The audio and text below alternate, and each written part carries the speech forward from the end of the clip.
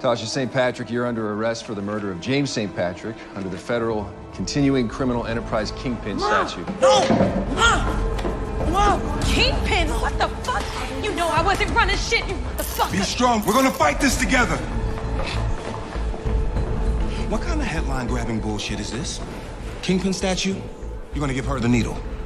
You and I both know this is not a federal case.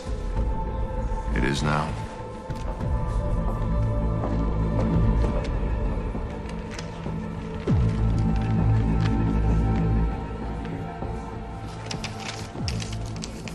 What don't I know about your mother? Hmm? Tariq, what have you done? Listen, I had to be the one to do it, Ma. I had to. I- I'll say it was me. Take the gun out back and dump it, all right? I know what to do. What have you just gotten me into, kid? We take care of each other, right? Right. I got you into the biggest case of your career. Look, my mom is innocent. Saxe has an agenda. The publicity on this case is huge, and you're right under the spotlight.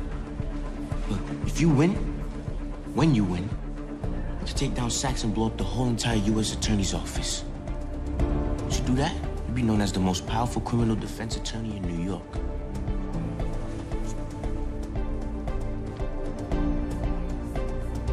You owe me $450,000, kid. You paid for the appetizer. But we're about to get into the full meal. They made a